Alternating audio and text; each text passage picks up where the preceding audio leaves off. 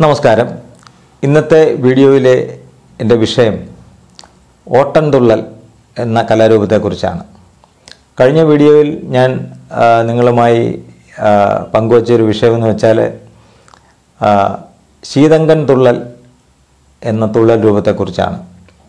രണ്ടും കുഞ്ചൻ നമ്പ്യാർ തന്നെ ആണ് അതിന്റെ പിതാമഹൻ. ഓട്ടൻതുള്ളൽ ശീതങ്കൻ തുള്ളൽ പറയൻ തുള്ളൽ എന്നിങ്ങനെ മൂന്ന് വിധത്തിലുള്ള തുള്ളലുകളാണ് ഉള്ളത്. അതിൽ ഞാൻ കഴിഞ്ഞ വീഡിയോയിൽ പറഞ്ഞ പോലെ ശീതങ്കൻ തുള്ളൽ കുറച്ച് വളരെ പതിഞ്ഞ കാലത്തിലാണ് അതിന്റെ പാട്ടുകളും അതിന്റെ ചലനങ്ങളും. ഒട്ടൻതുള്ളലാകട്ടെ വളരെ ചടുല രീതിയിലുള്ള ചുവടുകളാണ് അതിനുള്ളത്. ആ, ശീതങ്കൻ തുള്ളലിന് മുഖത്തെഴുത്ത് മഞ്ഞ നിറമാണ് എന്നാൽ ഓട്ടൻതുള്ളലിലെ മുഖത്തെഴുത്ത് പച്ച നിറത്തിലുള്ളതാണ്.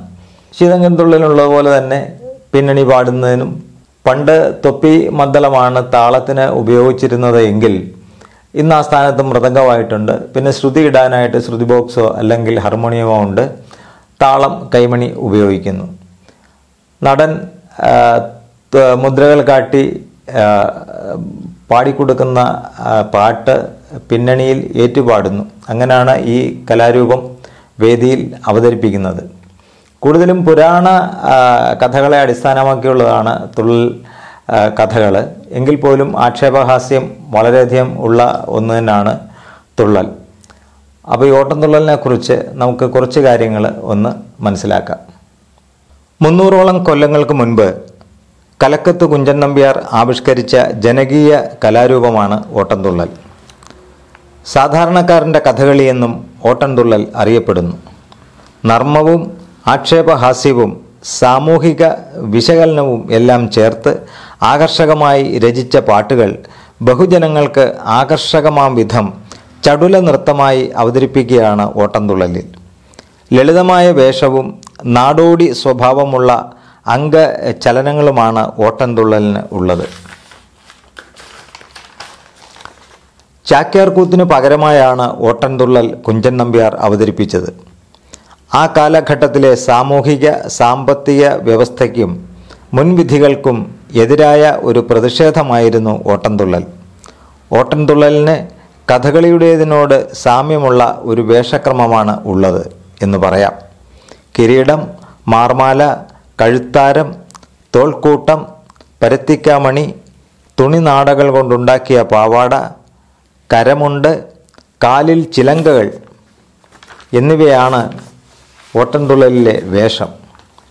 ഓട്ടൻതുള്ളലിൽ പ്രധാനമായും ഗണപതിത്താളം ചമ്പതാളം ചെമ്പടതാളം എന്നീ താളങ്ങളാണ് ഉപയോഗിക്കാറ്. കൊഴുത്താളവും തൊപ്പിമദ്ദളവുമാണ് ആദ്യകാലങ്ങളിൽ ഓട്ടംതുള്ളലിൽ ഉപയോഗിച്ചിരുന്ന വാദ്യങ്ങൾ. പരിഷ്കൃത ഫലമായി ശ്രുതിക്കായി ഹാർമോണിയവും അല്ലെങ്കിൽ ശ്രുതി പെട്ടിയും തൊപ്പിമദ്ദളത്തിന് പകരമായി മൃദംഗവും ഉപയോഗിച്ചു വരുന്നു. തുള്ളൽ സംഗീതത്തിൽ പ്രധാനമായി അഠാണ നീലാംബരി ബിലഹരി ദ്വിജാവന്തി ഭൂപാളം ഇന്ദിശ കാനക്കുറിഞ്ചി നാട്ടക്കുറിഞ്ചി പുറനീര് ആനന്ദഭൈരവി ബേഗഡ എന്നീ രാഗങ്ങളാണ് ഉപയോഗിച്ചു വരുന്നത്. നർത്തകൻ പാടുന്ന പാട്ടുകൾ ശിങ്കിടി അഥവാ പിൻപാട്ടുകാരൻ ഏറ്റുപാടിയാണ് ഓട്ടംതുള്ളൽ വേദിയിൽ അവതരിപ്പിക്കുന്നത്. തുള്ളലിൽ പൊതുവെ തരങ്കിണി എന്ന വൃത്തമാണ് ഉപയോഗിച്ച് കാണുന്നത്. തുള്ളൽ കലയുടെ പിതാമഹൻ എന്നറിയപ്പെടുന്ന കുഞ്ചൻ നമ്പ്യാർ പാലക്കാട് ജില്ലയിൽ ഒറ്റപ്പാലത്തിന് എട്ട് കിലോമീറ്റർ അകലെയുള്ള കിള്ളിക്കുരിശിമംഗലം എന്ന ഗ്രാമത്തിൽ കലക്കത്ത് ഭവനത്തിലാണ് ജനിച്ചത്. ഇത് ഓട്ടൻതുള്ളൽ എന്ന കലാരൂപത്തിൽ അല്ലെങ്കിൽ ഓട്ടൻതുള്ളൽ എന്ന കലാരൂപത്തെക്കുറിച്ചുള്ള ഒരു ഏകദേശ വിവരണമാണ്. ഓട്ടൻതുള്ളൽ കാണുമ്പോൾ നിങ്ങൾക്ക് ഈ ഒരു വിവരണവും കൂടെ നിങ്ങളുടെ മനസ്സിലുണ്ടെങ്കിൽ പല കാര്യങ്ങൾക്കും ആ സമയത്ത് നിങ്ങൾക്ക് നിങ്ങൾക്ക് ഒരു സംശയ നിവൃത്തി വരുത്താം സ്വയമേവ. അപ്പോൾ ഈ കലാരൂപത്തെക്കുറിച്ചുള്ള ഒരു ഏകദേശ ധാരണ നിങ്ങൾക്കുണ്ടായി കാണുമെന്ന് വിശ്വസിക്കുന്നു. ഞങ്ങളുടെ ചാനൽ സബ്സ്ക്രൈബ് ചെയ്യാത്തവർ സബ്സ്ക്രൈബ് ചെയ്യുക. മറ്റൊരു വീഡിയോയുമായി കാണും വരെ നമസ്കാരം.